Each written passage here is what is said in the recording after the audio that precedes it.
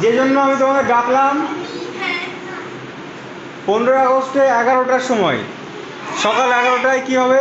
একটা আঁকার? আঁকার কম্পিটিশন হবে, ঠিক আছে। বিকেলে। বিকেলে তোমরা কি খেলা চাও?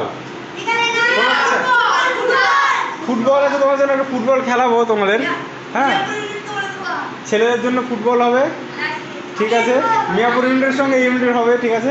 আর তোমাদের বিকেলে কি কোনো রকম যেমন খুশি সাথে যেমন আমরা করতাম, তোমার কি ইচ্ছা আছে ওটা খেলার? আচ্ছা নেই, ঠিক আছে, কোনো অসুবিধা নেই। তো আমি যেটা করব, আমার একটা জিনিস ইচ্ছে আছে তোমাকে দেখাচ্ছি এখানে।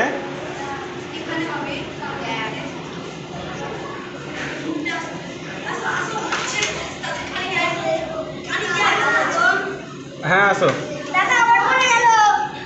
কি? আয় আয় আয়। এরকম ভারতের ম্যাপ করব আমরা, ঠিক আছে?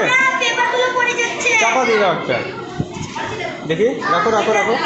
রাখো। দাও দুটো পেপার রাখো একসঙ্গে। চাপা দিয়ে দাও। এসো এসো, বসো সবাই, বসো, পেছনে বসো। দেখো, আমরা যেহেতু এটা সাইলেন্স সবাই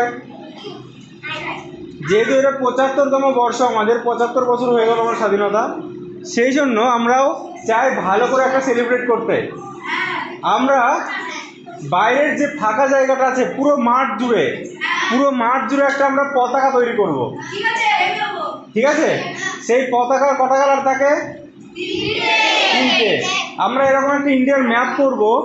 এরকম থাকবে কমলা, এটুকু থাকবে সাদা, এটুকু থাকবে সবুজ। আমরা কি করব?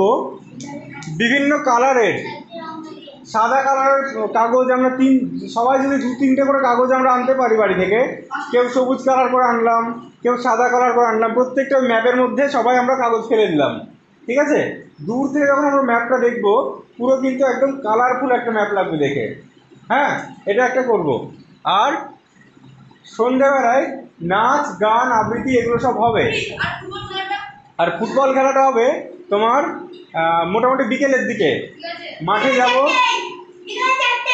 বিকেলে একটা ফুটবল খেলা ওদের জন্য রাখব। এবার আঁকাতে কে কে নাম দিচ্ছ? আঁকাতে?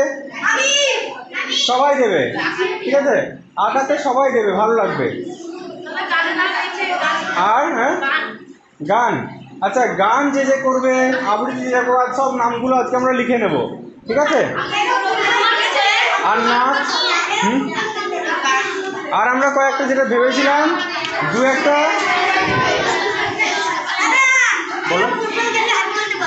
হ্যাঁ? ঠিক আছে।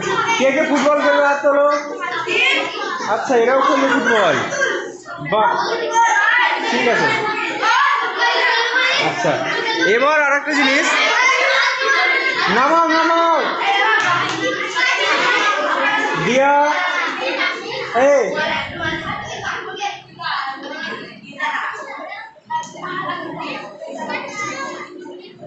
এরপরে আমি কি বলছি যে একটা নাটক হবে, ঠিক আছে?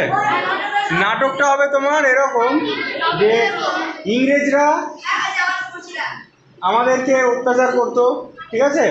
অনেক বিদ্রোহ হয়েছিল। সেই নাটকটা যারা করবে, শুধুমাত্র তাদেরকেই জিনিসটা বলব। এটা সবার সঙ্গে রিহার্সাল করলে ওটা সবাই দেখে নেবে। আগে দেখা চলবে না, ঠিক আছে?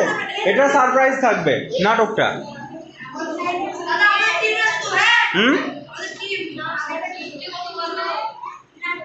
তো সবার আগ্রহের জন্য আজকে চোদ্দ, আজকে তেরোই আগস্ট মানে কালকে একটা দিন হাতে পাচ্ছি, একদিনের মধ্যে। জানি না কতদূর কী হবে, ওদের তৈরি করা যাবে। সময়ের বড্ড অভাব, তো সবার রিকোয়েস্টে এটা করছি।